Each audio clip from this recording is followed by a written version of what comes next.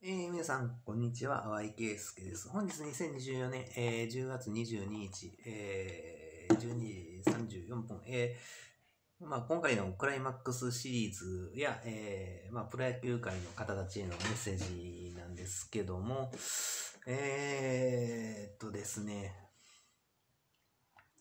まあ、あの、最終的に最後、菅野投手が投げましたけども、まあ、第一戦を見る限り、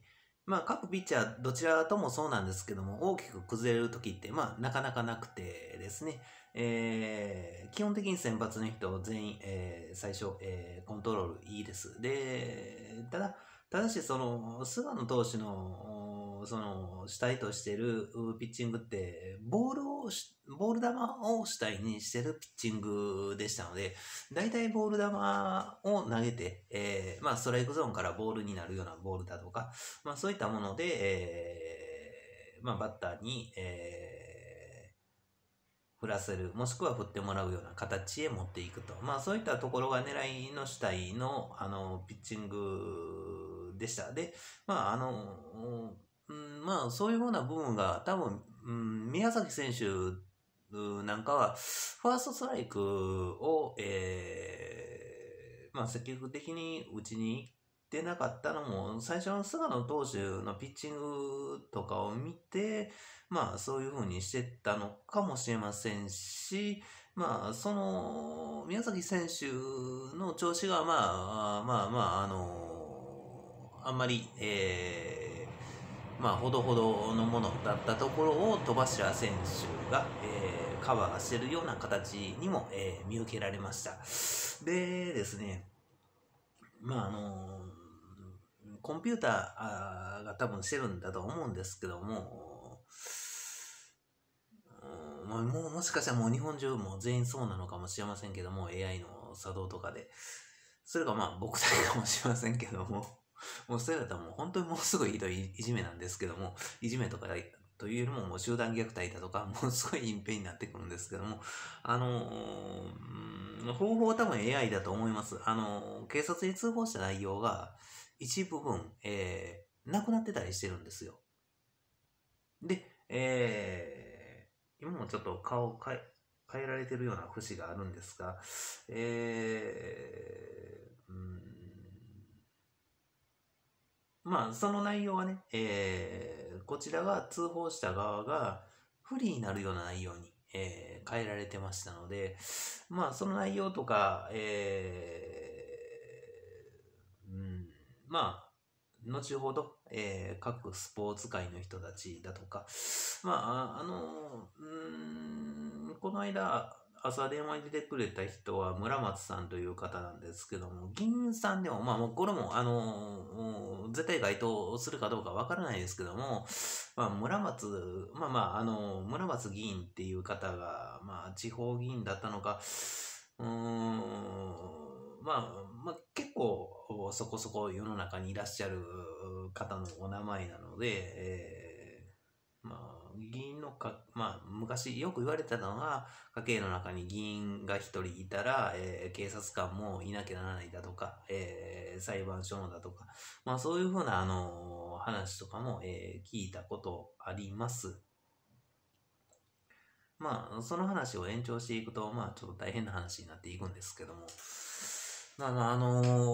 ー、そういうふうな部分も含めてですね、まあ、スポーツの勝ち負けは、えー、日程とかまだ昨日試合が終わった直後は日本シリーズや、えー、ワールドシリーズの件のことも、あのー、日程と開始時間が出てませんので、で、あとは、まあ、あの、ホームページは YKS 演劇の一番に記載している通り、台風25号に関して、キューバで、えー、台風が発生していたり、フランスだったり、イギリスだったり、まあ、あの、あとは太平洋。太平洋の 台風の名前、チャーミーっていう名前の時点で、なんかこれ、太平洋がなんか嘘なんちゃうかと、ちょっと言葉崩して言いますけども、いやいや、そのチャーミーとかの、チャーミーとかね、いや、これ、どれ、いや、その、ど、どの名前もね、あの、なんか、基本的に、あの、こう、ちょっと、こう、名前見た時に違和感があるような名前だとか、そういったものがあるんですけども、これね、だからその AI が自動で改ざんとかするんだったら、以前の発生した台風とかを、あの、まあ、まあ、けど、日付まで売ってたら、なんとなく人間がしてるような気がするんですけども、インターネット記事とかでこう、どこそこで、えー、ど、どこそこの国で台風が発生してるだとか、そういった内容。まあ、もともとテレビ局自体が人間がフェイクニュースを、えー、テレビで平気で放送してるわけじゃないですか。ま、もうこうなってきたら、その、今、今の僕の分かる範囲だったら、この、台風20号に関して、キューバかフランスかイギリスか、チャーミーということは多分、名前を考えるとなさそうな気はするんですけど、だからもうこれね、あの、だからこれ、こちらの文言とかの書き方としてどうなってくるかって言ったら、だから、ホームページ IKS 君歴の一番で記載している通り、台風が発生しそうな地点だとか、台風20号、まあ、世界中で発生した台風の数のはずなんですよ。台風の数って。じゃあ、それを、えー、しっかり対処していきましょうっていうことになるんですけども、結局、本当のことがわかるのコンピューターっていうことになってくるわけじゃないですか。もうこれだけでもこの世の中無理ですよ。本当に。人間がまず真面目になってないのに、すぐ隠蔽に走っちゃうのに、あとはコンピューターにお任せしますって。それをコンピューターを間違えたらどうするんですかと。なまあ、あの、ぼやっとしたような書き方になってるんですけども、まあまあ、今、頭の中で考えたのが、結局、あの、あの世の人たちのお怒りの部分とかあるから、これ最近ね、その、キュキューバはちょっと心当たりがないんですけど、多分キューバ危機とかその辺の話も、なんかこう台風の情報で持っていきたがってるのか、昔の戦争の話をね。で、まあアメリカの件の話をしました。そのイギリス王室制度だとか、フランス側がその、うん、奴隷解放側っていう形になってますけども、フランスはもともと皇帝制度とかなんですよ。だからもうその実態っていうのが、あの、昔から政府とか、こう、もう完全に見たらわかる通り、隠蔽に走っている以上、フェイクニュースとかを混ぜて、どうせ自分、自分たちはもうわけわかんなくなってしまった後ですか？もう今の世代全員、こんなにたくさん、あの、嘘放送されたら、どれが本当のことなのか、もうみんなもう、本当のことを探す気にももうならなくなるでしょう。や、探しようがないっていう部分になってくるわけじゃないですか。ほとんどの人は。だ、誰が本当のこと知ってるんですかっていう。だからボールカウントまでね、あの、昨日のシーン、一回だけあったんです。巨人のピッチャーボール球投げて、横浜 DNA のええ違うわあの、ストライクゾーンにボールを投げたのかなボールゾーンにボールを投げて、ごめんなさいね、もうどちらがどちらなのかもう、もう、もう僕もよくわかんなくなってきてるんですけども、審判意図的にカウントを変にカウントしませんでした。その横浜 DNA の方がこう優位になるように。で、試合終わった。安倍晋之助監督、コメントがさせてあげれなかったとか、遠回しな表記で文章を書いてるんですよ。じゃあだから自分たちがこれやっぱり1位になったらまずかったんだっていうところなのかな？んのか違う、そこもう頑張って最下位行ってもらわなあかんか。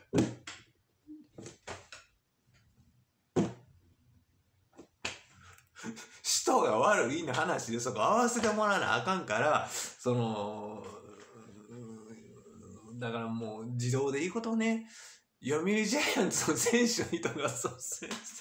生、横浜 DNA 選手の人に頭なんか提供してあげたらよかったんですよ。一時的に渡すにしても何にしても。で、それで、もう試合勝ち負けつけたらいいじゃないですか。本当に大変。もう今日も朝から、あの、夜もやっぱりあの、睡眠薬服用するまで、コンピューターがずっとごちゃごちゃごちゃ言ってくるんです。試合終わって眠気ちゃんとあるんですよ。あって寝ようとしてるんですよ。それなのにコンピューターがずっと妨害してくるんです。病気でも何にもないのに、眠れるはずなのに。で、それもね、あの、天の神様へのお祈りしましたのところとかも、で、まだ、その、本当は今日の日付で、昨日の0時00回った後にあの文章を、本当は、ああいうふうな文章をホームページに公開してるんですよ。で、えー、翌朝見たら消えてるんですよ。いや、だから、うん、コンピューターだけでも厄介なのに、今日もね、えー、朝、多分5時ぐらいに誰かが起こそうとして階段とだとだ降りていったのか何なのか知らないですけども、起こされて、まあ、とりあえず今日はゴミ捨てようと思ってたんでね、朝の、えー、5時半ぐらいに、5時半前ぐらいに、えー、ゴミ捨てに行ったんです。寝た、夜中の2時半ぐらいですよ。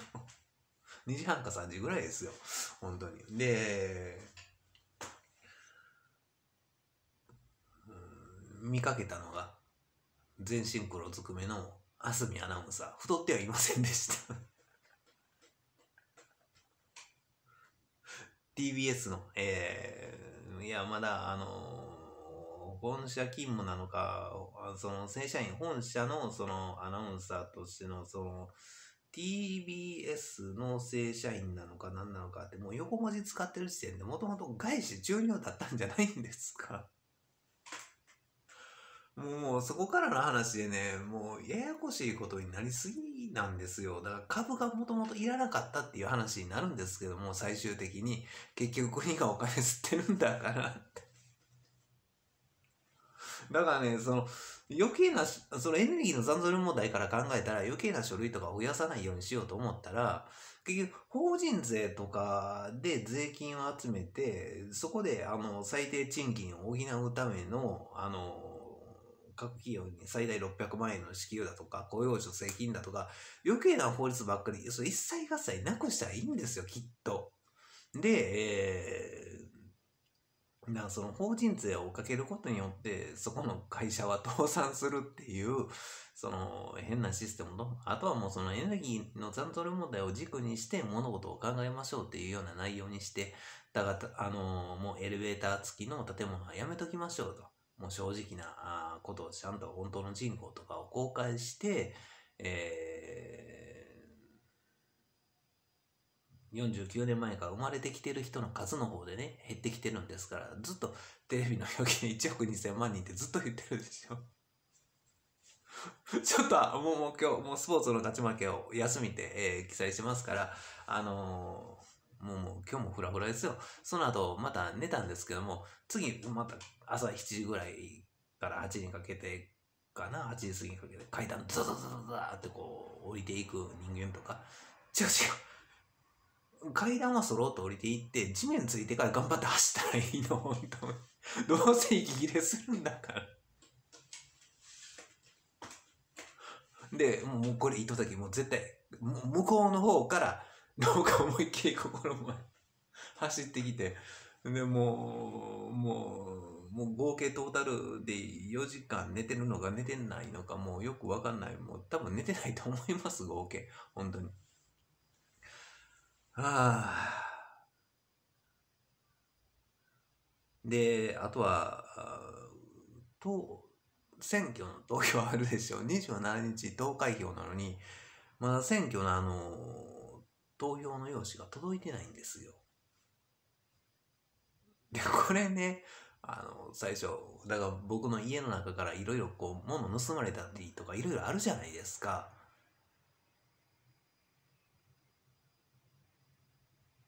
だから、一回ちょっと警察の方に電話かけて、で、それから、えー、北区役所の方の、あの、選挙対策委員会の方に、えー、電話かけて、一回電話かけてっていうことで電話かけてみて、で、金曜日に発送しているということだったんですよ。で、この距離を考えたら普通もう月曜日に到着してるんですね。で、え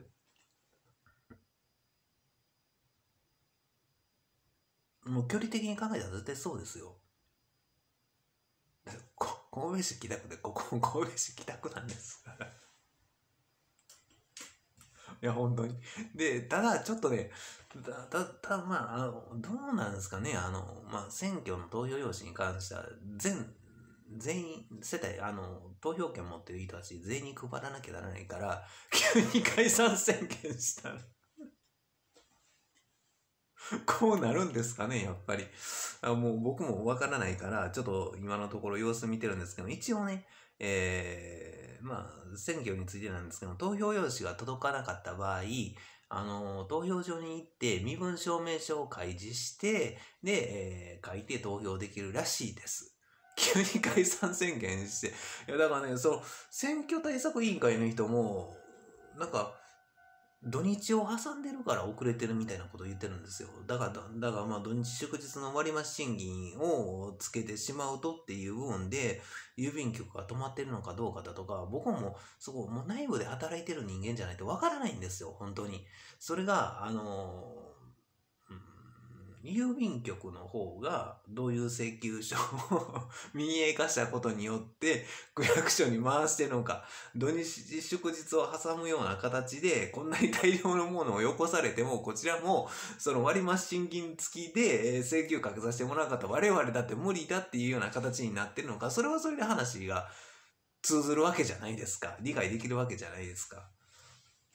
小泉純一郎さん、今まで僕の話をね、プロ野球界の方たちも聞いてくれてる人たちはよく分かってくれたと思うんですけども、郵政民営化じゃなくて、オリンピック中止を発表しなきゃならなかったんですよ。本当はもともとオリンピックって一回解散させられてるんですよ。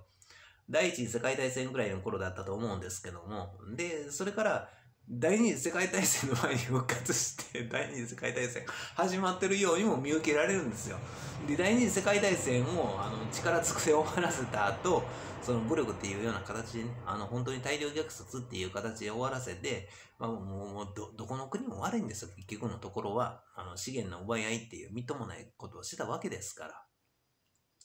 何のために通貨作ったかわからないわけじゃないですか。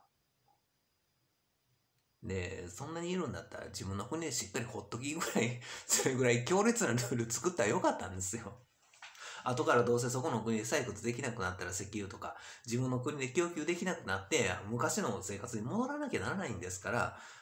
あの、もう、もう、遅かれ早かれの問題なんですよ。あとはもう地震をたくさん発生させてますから、だから最近上げた動画で言ってると思うんですけども、あの、選挙カーなんか必要ないっていうその動画、見出しの動画なんですけども、最後の方で強烈なこと言ってるんですよ。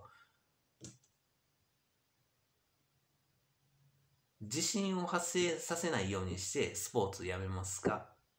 オリンピックの解散の件に関してですよ。だからもうそこは少女原理で物事を見ていって。で、えー、自動車の生産をやめて人が死なないようにしますか？それとも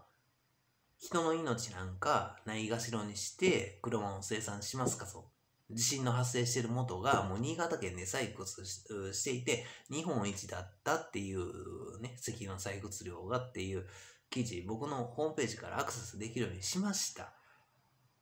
で、もうだから日本中バレてからどこで採掘してるのかを発表してるようにしか見えないんですよ。で、一応ね、あのー、石破さんが総理になるっていう話は、多分、だいぶ前から水面下で進められていたんだと思いますよ。で、えー、メタンハイドレートの採掘だとか何か YouTube で言ってたわけじゃないですか。なんか正直な記事でやっとね、油田の採掘を、油田やガスの、あの、まあ、石油やガスの採掘を鳥取県と山口県沖でっても、その時点で心当たりあるわけじゃないですか。安倍晋三さんの元総理の任期の一番長かった、えー、総理、安倍晋三、まあ僕からの提案でなってもらって、ガソリン車の生産停止にしてもらったんですけど、世界中でね、2035年、かなり時期遅いんですけども、時期総称すぎるんですけども、あの、一応その採掘してる場所が、まあ、領海内なのか、公海なのか、公の海の方なのか、ちょっとよくわからないんですけども、一応その記事は、山口県と鳥取県沖っていうことになってるんですよ。で、安倍晋三さんは山口県出身なんですよ。けど総理になった瞬間、東京都出身に変わるんですよ。岸田さんもそうなんです。あの、広島県出身だったはずなのに、総理になったら東京都出身に変わるんですよ。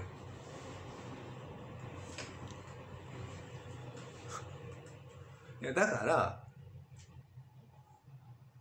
東京都が一番悪いことをしていたから法律だけで物事を考えるとですよ。だから読売ジャイアンツに関しては絶対に最下位行かなきゃならなかったんですよ今年。これが正しいんだっていう我らがその姿勢を見せてっていうところをすればかっこよかったで終わるんですよ話は。だけどもそこで踏ん張られたらもう、これ、後を引き継ぐ人たちが、もうひたすら大変になるから、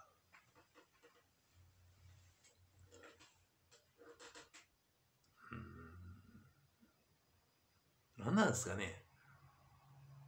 地方が世の中を変えなきゃならないっていう話は皆さん昔から聞いてるわけじゃないですか。ね、岡本和選手。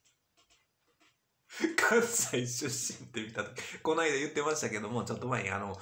これ、ど、どうしますって僕も言ってしまった方なんです。アマチュアで4番で、4番打ってた選手に外れはないっていう話からのデータで見ると、日本代表でね、大山選手が関東出身だったんです。もう話 自分でもよくわかんないんですよ。どこからいつから話がむちゃくちゃになったのか。もうとにかく今年のドラフトに関しては、各、自分の親が住んでるところのね、えー、高校出身じゃわかんないんですよ。遠方の高校に行っちゃう人たちがいるから。親がどこに住んでるか、親の介護を考えて、そこから、あの、地元、そこは地元のはずだから、地元の球団に行きなさいと。で、各球団、ドラフトで選手獲得するとき、もう絶対しちゃダメですよ。その地元近いところの球団行きなさいと。もう多分誰がしても、このコンピューターとか電波の仕組みとか頭の中のあの受け渡しとか、小学生とか連れてこられたら絶対無理ですよ。プロの人たち本気出された。ただ、もう全員野球、プロ野球選手として毎日野球のあの練習をして取り組んできて、今まで、えー、高校野球なり大学野球なりアマチュア野球、社会人野球なりで実績を上げてきた人たちばっかりが選ばれて、えー、本気で野球に取り組んできたわけじゃないですか。そういう環境という場を与えられて、体を鍛える、鍛えてる時間もお金をもらえてっていう。一般人の人そんなことしててもお金なんか入ってきませんから。いつのにか、あの、逆にお金を払わされるシステム、あの、スポーツジムっていう、この辺りに3軒あること自体が、もう、まか不思議な話なんですけども。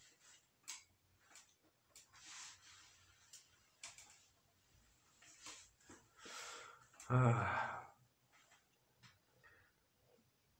義務教育も分かっていないって。腹筋腕立て背筋とかね、えー、その辺走ったりすることぐらい学校教わってるでしょ。あとは各自の工夫次第で、あの、筋力トレーニングとかできるはずなのになぜお金を払ってまでと、エネルギーの残存量問題を考えたら、その、トレーニングジムなんか作っちゃダメなんですよ。あとプール。怪しいプール。これガス使って沸かしてるんちゃうって。あの量って、蓋なんかついてませんよ。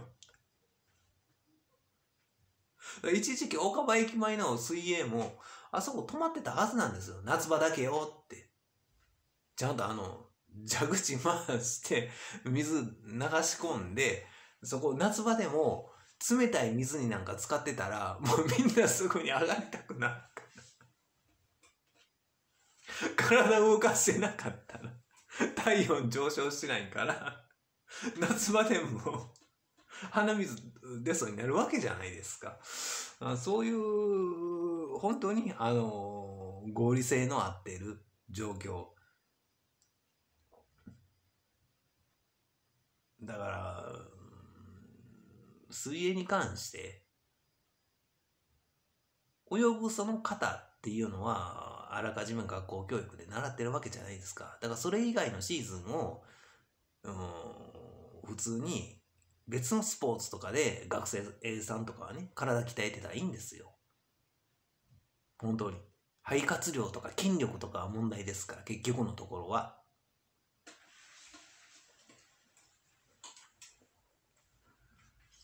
で、重機に頼らないで力仕事をしていれば、お金稼ぎながら、えー、まあ体が鍛えれると。で、エネルギーの残存量までに対処できますと。こういうことなんですよ。で、そこでも、その商業原理の話で強引に押し込んでいかなかったら、オリンピックいつまでだっても解散できなさそうですし、本当に、本当にもう、もともと貴族。尊い族と書いて貴族。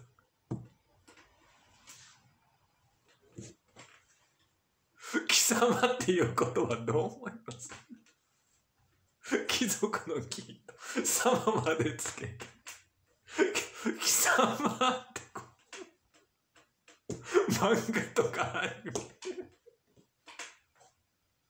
僕が知る限りはですよ。あの男塾っていう漫画が小学生の頃に「えー週刊少年ジャンプ」っていう漫画で本当にバカなことばっかりしてる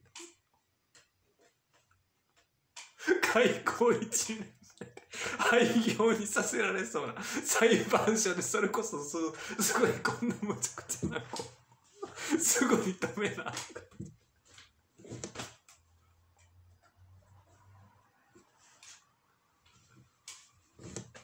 一回戦車が教官が乗りつけてきてるんですけど。あれ廃校にさせようとした自衛官だったんちゃう？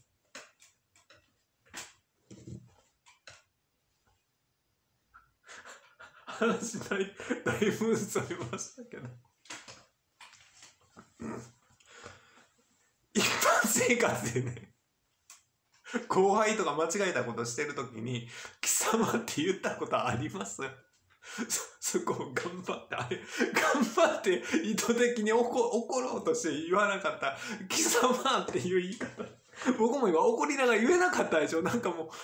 へなへなっとした形 僕嘘が嫌いな方です。尊い様。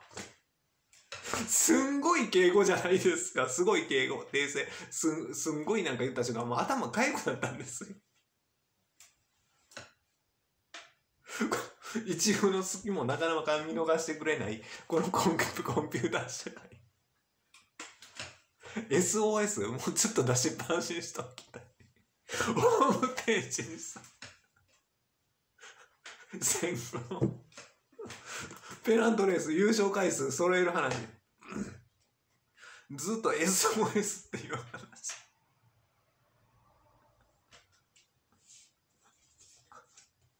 これねロシア政府において2カ国乗せの話とかで救援を求めたことがあったんですよ。阪神タイガースになかなか優勝できなかったから、だからあの政府交換ナイトが頑張って、トトラとかタイガースとかを、ガタコト言葉で言ってくれてたんだ映像で出て、出てたんですよ。あの、だからその どもうこれかこれ考えたらね昔のこの優勝回数とか考えたらあのトラトラトラっていうその第二次世界大戦の暗号もあれどうせ嘘でしょ。言います？3つとも同じ。文字で暗号として通用すると思いますもう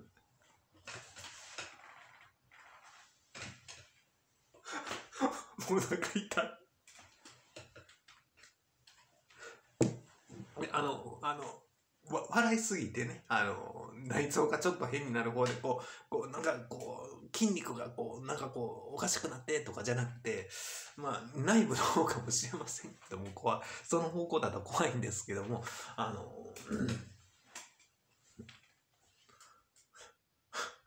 もうね、えまあ、道理で、えー、ちゃんとロシアは分かってくれてる方なんですよ。今のところリーダー国はロシアなんですよ。もうテレビのフェイクニュース見てたら、みんな絶対逆の方行くでしょ。で、そのウクライナの方は何をしてたかって言ったら、ヘビー級かスーパーヘビー級の4団体統一のボクシングのチャンピオンで、僕は何を言ってたかって言ったら、あの、あの、これ法律をもとにたどっていったら、これボクシングとか格闘技ってね、人を殴ってお金稼ぎしてるわけじゃないですか。で、そういうような行動をしていた人が警察官になるっていうこと自体、矛盾が大きすぎるんですよ。だって一般社会で僕なんか、今まで散々絡んできた連中に対して注意しに行って、その時もエネルギーの残存問題の話したんですよ。で、通報の仕方とかどうせ偏った形で通報するでしょう。で、あとこちらも通報した時に、あのー、警察官の人と話した時に、こちらが、こう、不利になるような内容で、えー、AI が書き換えてるんですよ。多分、もしかしたら人かもしれませんよ。そしたらもう世も末です、本当に。それが状態化していて、あのー、一応、それに気づいたとき、まあ、通報してて話してる僕の方の再生時間は27分なんですけども、僕はね、家で寝転がっていたら、警察官の人とかの声が電波で聞こえてきて、いや、こっちは31秒っていうことになってるねとか、なんかそんな話とか聞こえてきてたんですけど、その一部分がなくなってる。で、その機能は AI で、ただただひたすら政府に都合の悪い話は隠蔽になっていって、勝てば官軍、負ければ賊軍みたいな形あ。マイノリティの話になると、まあ少数派の話じゃないですか。国家公務員とか公務員の方が少数なんですよ、国会の仕組みは、内閣対、えー、その他議員で、えー、そこは数なんですよ。で、あとは裁判所で三権分立のはずなんですよ。っていうことは、一般国民、そこは数、あとは国会議員とか、えー、まあ、あの、国家公務員とか、公務員。まあ、両方合わせて、えー、公務員としましょう。そこは少数派で実質的な権力を持っているこちらの数。あだからまあ、あとはそこをコンピューターさんに任せるのか何なのか、もう僕もわかんないですよ。そう、ルールをね、まず、ごめんなさい。唾飛ばしてしまいまして。ルール開示してくれなかったらもうこれどうしようもないでしょ。本当に。だからこれ、笑いながら言わなかったら、絶対みんな、もうお怒っちゃうでしょ。うん。だこのね、その、何なんでしょうね。こんなむちゃくちゃなこと僕に全部押し付けてきた人。だから、あの、怒ったら、例えば競馬のある日だったら、騎手が落馬してると。で、特に僕と会った人間、実際話をした人間とか落馬してると。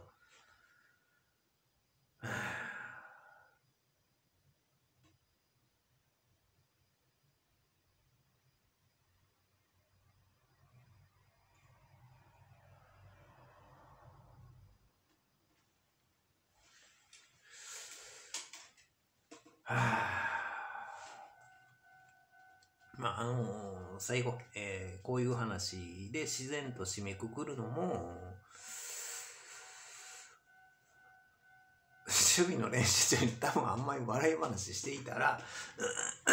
ボール取れないどころか、怪我が発生する恐れがあるから、多分自然と僕もこういう風な話をするような形になってるんだと思います。以上です。えー、まあ、その詳しい内容も、えー、通報内容とかを、えー、まあ、開示して、えー、まあ、これ、みんなで、えー対応しなかったら、結局、人類滅びてしまいますので、えーまあ、皆さんご協力ご対応のほどよろしくお願いいたしますということです。以上です。